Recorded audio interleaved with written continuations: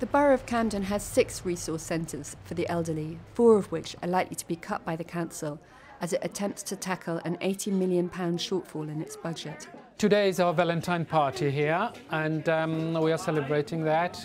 Most of the people they don't have access to any hot meal, and we, we do lots of parties, celebrate each other culture, Diwali, Christmas party, Eid party. Have we got any gravy left here?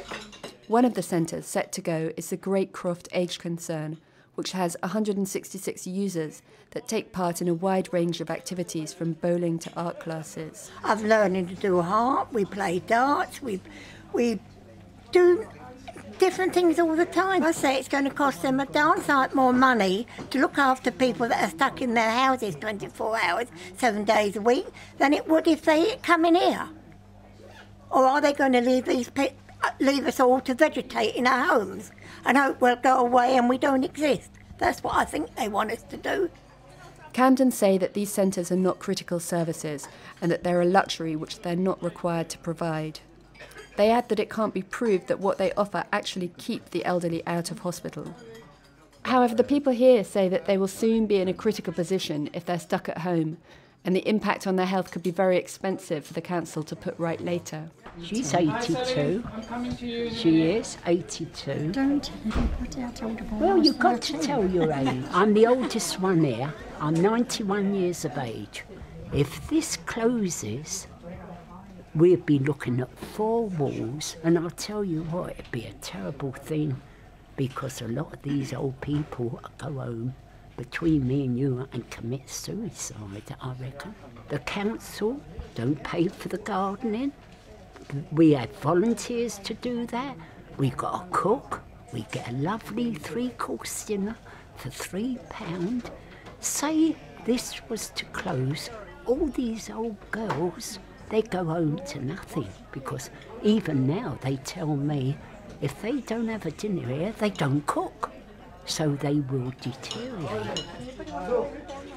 And they're not prepared to take it lying down. Rose and her friends have taken to the streets to protest against Camden's decision and are planning to attend the national demonstration against cuts on the 26th of March, despite their mobility issues.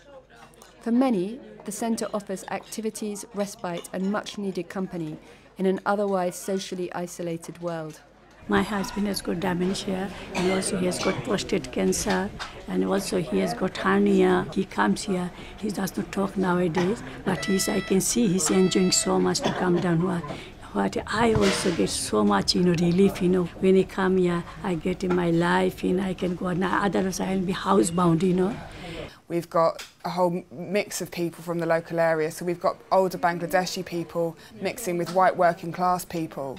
Um, and you know, a centre like that, it takes years and years to build up that kind of community.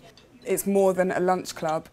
We've got a few people who have got safeguarding issues. We've got an issue at the moment with one of the members who's had nearly £100,000 stolen from her by somebody who was kind of posing as a family friend. You know, the centre staff pick up on these things. They're, you know, they're frontline services. I mean, I can't get on the bus or, or, or transport. I need help because I suffered rheumatoid arthritis. But with the cuts, I've been doors most of the time. Can you have a small please? The situation facing Great Croft is just one of dozens of difficult decisions confronting Camden Council. And Camden is itself just a microcosm of what's happening in every borough around the country. We have only two full-time uh, members and two part-time members working here.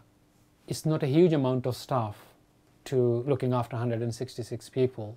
Running cost for the center is pretty low because we have only funding for the staff and the building rent maintenance.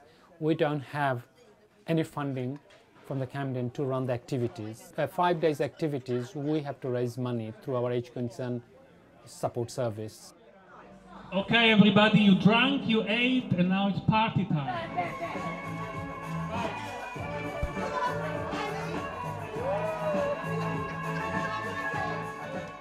I think, you know, uh, they're talking about big society. This is the best part of the big society.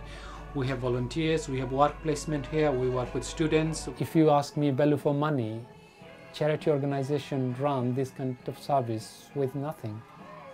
as the council struggles to make choices on what to cut. Service users like these are left feeling abandoned and angry, and there's a fear that in the long term it will be frontline services that have to pick up the pieces. I've got no family up in London. I mean, I come down here for people to talk to and eat with. I mean, it keeps your mind and your body active as well. If you sat at home, you'd just sit there doing nothing.